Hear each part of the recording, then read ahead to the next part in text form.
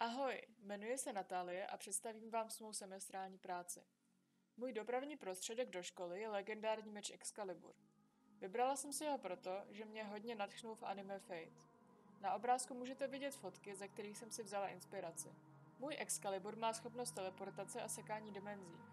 V první fotce jsem chtěla udělat epický přechod mezi Strahovem a NTK, ve kterém to vypadá, jako kdybych sekala realitu. Do fotografie NTK jsem přidala sebe, meč a následně jsem vložila obrázky teleportu, nohy, strahova a vhodně je upravila.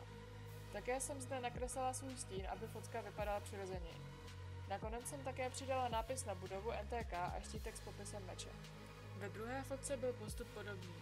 Do fotografie budovy jsem přidala sebe a meč.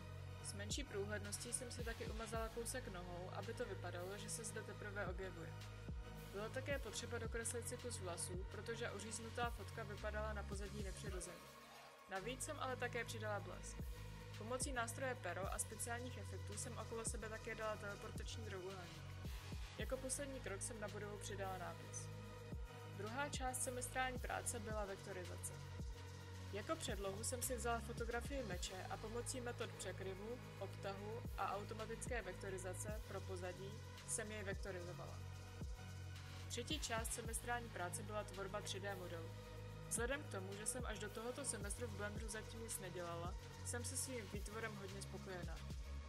Pro tvorbu modelu jsem si do scény importovala fotografii meče, kterou jsem využila k tomu, abych správně odhadla velikost a tvar. Následně jsem čepel udělala co nejvíc metalickou a přidala na ní texturu škrábanců, která se prolíná s metalickou šedou barvou pomocí nastavení, která můžete vidět na screenshotu. S prací jsem velmi spokojená a jsem ráda, že jsem měla možnost něco takového udělat.